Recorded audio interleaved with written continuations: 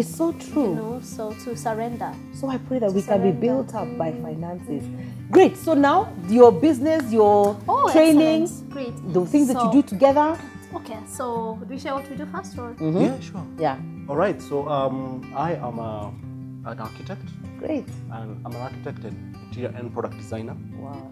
I'm also a, a speaker. Yes. Uh, I'm, a, I'm, a, moti- I'm, a, I'm a, a facilitator, speaker, uh, a, a, a motivator, a coach.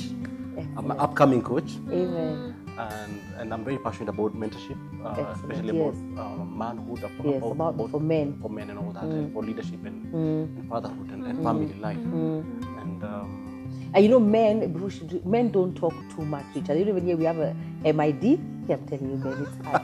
We're on a WhatsApp group. I was like, these people. If I whole week. A whole week, no one has responded to my question. fine. Everybody's fine. I'm not, okay, excuse me. So I start like, barring people. Are you okay? Silence. Crickets on the phone. So it's also good for me. It just made me like, ah, it's okay. I'll post something. I just leave it there. So when they they discuss it, they'll the code, we are processing. We're processing. They tell me we're processing. We don't just answer things without processing. I okay. I feel like see you process. No, everybody's process together. Yeah, yes, No, everyone is processing and then they'll come back. But I love the fact, you know, like even for MID, and I'm glad that we we just want men to talk to one another.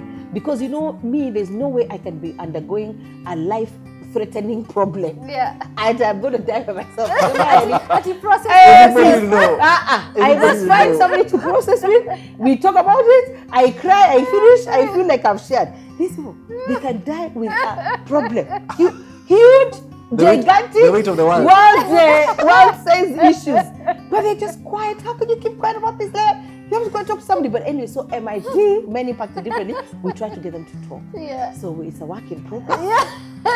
Na tuna tuna tuna tunatembea but i think it's very important because men men don't talk but it's important you know Yeah. even this weekend i think you had some you were mentoring some Yes, young men yes. somewhere I, I, was, I was speaking to some young guys mm. at White Church. Mm. Hey, White Church. Hey, White people. Church. Mm. Yeah. and it was amazing. Uh, these young guys, many of them hardly, I think there was none of them above 30, wow but, but very switched on. Of course, they are closer to the millennials.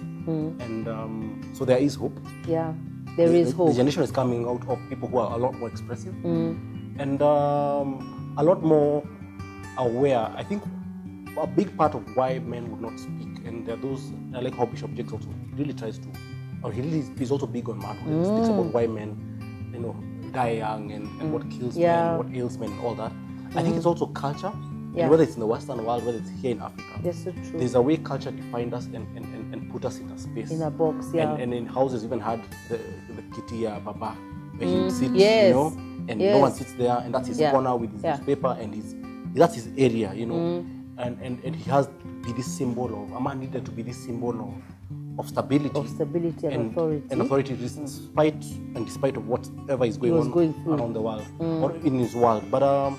By and by, I think that we are getting to the point of realizing that Yeah, we shouldn't die with our problems. We Yeah. shouldn't um, that there is nothing. They say there's no temptation that has has, has, has as a, manifest. as a reason yes yes, that is not common to man. Yes. So, so whatever we are going through, Mm. the generation before us has gone through it, and, and your peers are going through it. So I'm, I was pretty excited about talking to these guys because they really came out and, and we had all these things, uh, Mm. And that's why uh, we, we, are we tackled all these issues, and that's one of the things I'm excited about. Excellent. And uh, as we speak about, uh, I think with, with, Oh yes, what I do, with Louise, what I'm, a, I'm a corporate training consultant. Yes. So I think it's been an amazing journey for about 12 years. Yeah. So basically, come to organizations, um, and what I so I do corporate training, a lot of things on soft skills, customer service, sales, but ultimately it's culture transformation. That's what Wow. I'm most passionate Amazing. about. So whether it's Amazing. presentation skills, whether it's leadership, whether it's different aspects, how do we shape culture? And then um, I think I'm also known for TV, so which I put aside for a while for a until while. God reveals what next. But that uh-huh. was good when it lasted. So I love moderating events because Yes. I I've loved moderating, emceeing, and stuck Mm. and different events at at Purpose in Leadership. And what I feel is events are a space for vision to be executed. Amen. But at times, the people who are coordinate or emceeing at times, they at times as MC, someone does next, next. Yeah, or, they're detached from the vision. detached. I think even what makes it easier for you to, I think, execute that vision is because you you've done PLF and you've been there, so you've been there in that journey, so you understand what we're about. I understand purpose, I understand Mm. organizations, and, and now helping people execute vision through Yeah. events. I love that. So that's emceeing and moderating. So, but everything I do, I am a communicator for transformation. That in every commun- space of communicating, that transformation will happen. I'll get transformed. The people I'm interacting with get transformed. A man who is worshiping, who is leading worship, is not necessarily a worshiper. Got that? so whatever you see out there that's admirable may not be a reflection of character. So, but I think one of the things, so when I met George, I didn't know that we had a lot of similarities. But because what connected us was we were friends, we are in the same Bible study. So it was just us. And then we got a chance to, he was leading. Then guys, I was asked really, guys are like, who will lead? And I was like, hey, no, me, I'm not. I want time out. Bible study. But then the guys were like, George is leading, who will help him? Faithfully, I'm like, no, I don't take. Then I was like, yeah, I'll help so that I don't leave. Because I really didn't want to, I wanted to just chill. I wanted to take a back seat. Exactly. So that's one of the ways we really connected. Eh? Because in the same bus that we used to hang out. So now that he was leading, we needed to meet before to plan. Lead the Bible study, then after, and somehow he ensured we were doing, and after, until the brief.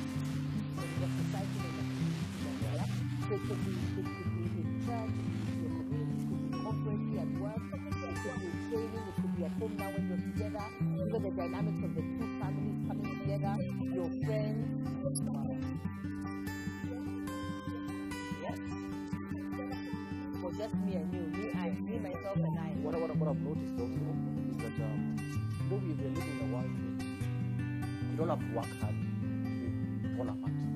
To By own a part of the world. To be torn To be apart. torn apart by careers. by our yes, careers, Yes, by by our own pursuits, yes. by our even interests. Well, actually, that's the, our hobbies, what- whatever we, we pursue. That's the remember we're still talking about two becoming one. Yes. Because we're still two individuals, and we have our own different goals, ambitions, um, aspirations. Uh, so how do we find ourselves? That you, I will still be George. I will still express myself. I'll still be me. Faith will still be herself. Yeah, and still fulfill that which we're called to fulfill as one, As one. as one, as a, in a marriage. Wow. So it's a very interesting balance, and that's all we, we, we, we, we've been talking about even this morning about how um, I still have to be myself Yeah. because it's what God has put in me. There's a skill set. There are very Yes. unique talents. Yes. Uh, the, the Experiences. giftings, experiences Mhm. that make me who I am. Yes. And then, in the same respect, is what, what she is. Yes. Uh, but we have to, to also be careful to realize that uh, we can sometimes get so drawn into being ourselves. But I want to rise up to the top of the mountain Yeah. and know how this you can go far. I mean, if you want to go fast, go alone. Yeah. If you want to go far, go together. Go together. So we're already a team. Mm. So how, what is it that we can do that can be able to to make the journey all that more better, all that more richer? You know. So like for one, honestly, before um, we were like, you know, like faith was in my life, I never really thought about what I do as a facilitator, as a speaker, because a lot of that I do in church. A lot of that I do mostly at in church. So there'll be different small groups uh, uh, Bible studies even outside of church. that that, that I, I think I, I, I like to impact with small groups. Give me a group of 10 15 people. I'll be able to, to talk with those people. I'll be able to work with them for a year, two years. I know each individual. I'll call them during the week. You know, we'll you know whether whatever it is that we need to journey with, with that, that group. Uh, but on the other hand, faith is, does a huge group. But when you look at it, although on, on, on, a training perspective, I mean, when she's MC, it's a huge group, but on a training perspective, she deals with also groups Small of 10, groups. 15, 20. It's, it is very similar. It's connecting with people, and there is a learning, uh, even uh, with PLF, you know, uh, we've been able to, thanks to you, we've been able to, to facilitate some sessions of PLF. Yeah. Uh, and sometimes it's not a very big group, sometimes it's a big group. And it, it, it's, it's really having this content we're able to go through with people. But it's not just content like a teacher delivering it, it's an experience. It's an experience. Yeah, so so so thanks to to Gibi Mind Faith and also thanks to some of our, our pastors such as you, it's become clearer and clearer that there's a lot more we can do besides our nine to fives together. Ah, together. Yeah. To make impact and to make change. To have a bigger impact. Yeah. And I get to learn a lot. Like he's a very good leader. He's Yeah. a very good Yes. So I think as I've seen him journey with his friends, maybe I think even the trust side from our outreach and being able to relook how do we do it into more of a mentorship kind of thing, mm. into a more. So I have learned a lot from him as he calls his men as we journey, as we brainstorm, as he strategy for his business, does for my business. So it's coming together beautifully. And what we have is different from what another couple has. But the question is, okay, Lord, why did you bring him into my life? Why did you bring me into his life? And I think how do we get to grow physically, emotionally, socially, mentally, spiritually, and career Together. together so Yeah. that by the time I've achieved my goals at 70 We're still celebrating Yes. each other Wow. in our successes. Wow. Yes. As opposed to maybe by the time we're 65 or 63, and the kids are now in college, we're wondering, what are we doing here together? It has to This is a total the stranger. It has to be more than being together to build a house. Or to raise the kids. Yes. To raise the house, to raise the kids, then what? But you're complete strangers. Absolutely. Which is the personal purpose. So what is your purpose?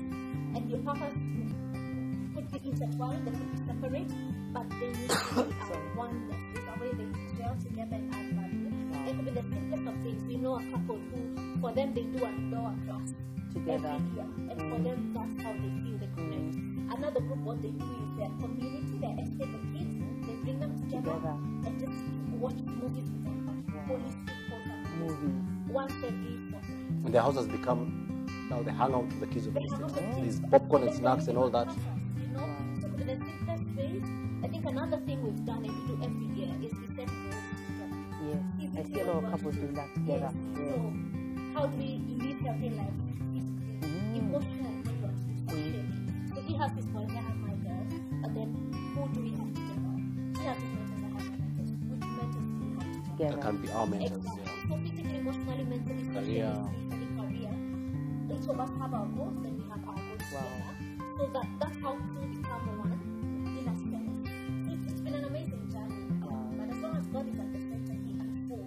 unfolds. So we are not yet there, but, but it's beautiful seeing it. I think the thing to look to look out for is, is just um, to always look for opportunities to complement each other.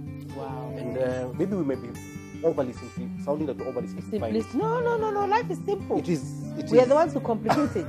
Life is very simple. So, like, one of the things that uh, happens, and maybe there's somebody out there, and probably look at the comment section with time and see what people will And say. we'd love to hear Yeah. from you. And we'd love to hear yeah, feedback yeah, about we that. really need to hear feedback you, about you it. find that uh, there's someone saying, and I've been there, Kate has also been there. Hey, you know what? I want to do my master's, I want to do my PhD, and I've got a, a fellowship, I've got a scholarship in Canada, or, or somewhere in Norway, or somewhere, you know, halfway Out across the the, world. country, yeah. Yeah.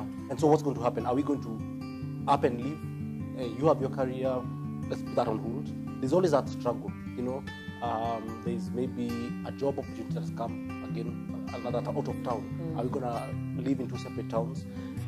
And these are, I think, things which even we go through. Sometimes um, what we found easy so far, and something we have also come to appreciate from what we might uh, probably able to speak into our life uh, a few more years than us, is that sometimes there are, I think we have to start from the basics, then we go building up. For instance, and it still goes back to the first thing we discussed about values. Wow. Uh, what is the value? What, some of the values we talk about are we really believe in our, honor. We also believe in family values. Yes. Because one thing that um, probably no one else can do for me is, is, is raise my child. Yes. it can be done, but it shouldn't be done. You know what I mean? Uh, it's one of the things that, uh, as long as I mean, God has blessed us with a child, we need to be able to pour in as much of, of, of ourselves, of our values, of what God has put in us into his into, into his life. You know, mm. and and and when, I think if you anybody would want to contest that, look at and speak to someone who is in hospital with a critical, you know, someone who's not very old, with a, or children are not very, who are not grown up, who is in a, in a critical state in hospital. You will hear what they pray to be healed. So they can go go and back yeah. and look after their It's not children. meetings the boardroom. It's not. It's not Yes, uh, no. business. It's my child Yeah. or my children. Who will raise my son? Who's going to raise my children? Who will, who will, you know, who will be there for my That wife? is You so know. true. So when it comes down to that, yeah, Everything goes through such experiences. yeah, And when they share, it's no longer just the story. Mm, it's it's very real. real. It's Oh, very it's real.